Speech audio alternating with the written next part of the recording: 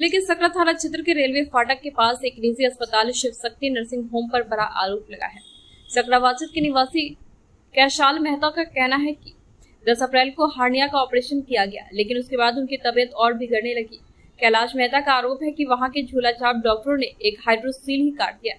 इसके बाद चिकित्सकों ने मरीज़ के परिजन को बताया कि बीमारी की असली वजह को ही दूर कर दिया गया है। इसके बाद भी कैलाश मेहता की हालत नहीं सुधरी। इस घटना के बाद आरोपी नर्सिंग होम के चिकित्सक फरार हो गए। वहीं स्वास्थ्य विभाग ने भी इस मामले पर संज्ञान लिया है।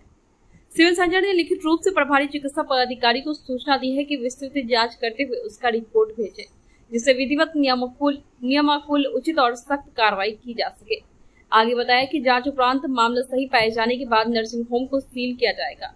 साथ ही दोषियों के खिलाफ सख्त कार्रवाई की जाएगी। सीएमओ ने बताया कि एक टीम गठित किया गया है, जिसमें डॉक्टरों की टीम, प्रशासन और पुलिस के वरीय अधिकारी शामिल है। टीम के द्वारा सकरा इलाके में अभियान के तर्ज पर छापेमारी की जाएगी, जो अस्पताल या नर्सिंग होम नियम के अनुकूल संचालित नहीं रहा होगा। उस पर सख्त कानूनी कार्रवाई की जाएगी। दर्ज हो गया है।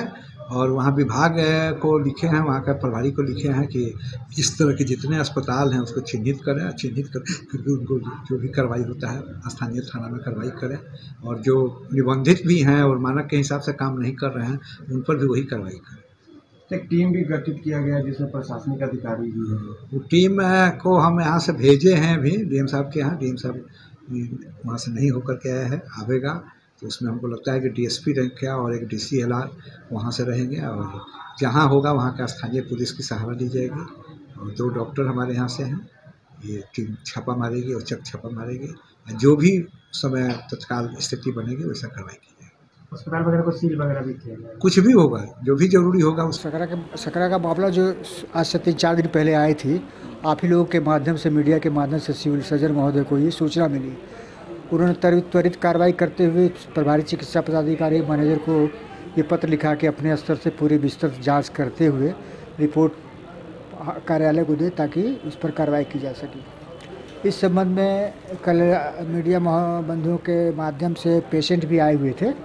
उनको देखा गया है।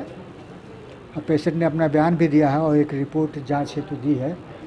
तो उस संबंध में भी आज मैनेजर को सूचना दी गई है, कही गई है कि आप उसके घर पे जाके पेशेंट से मिल करके कैलाश माथुर नाम का जो पेशेंट है, इसके साथ ये इस समाचार के प्रायोजक हैं Asam hospital multi super speciality hospital Juran Chhapra main road Muzaffarpur. Holy cross international school co-education CBSE school Adarsh Nagar lane Gaushala road Chapman school church gate के सामने मुजफ्फरपुर।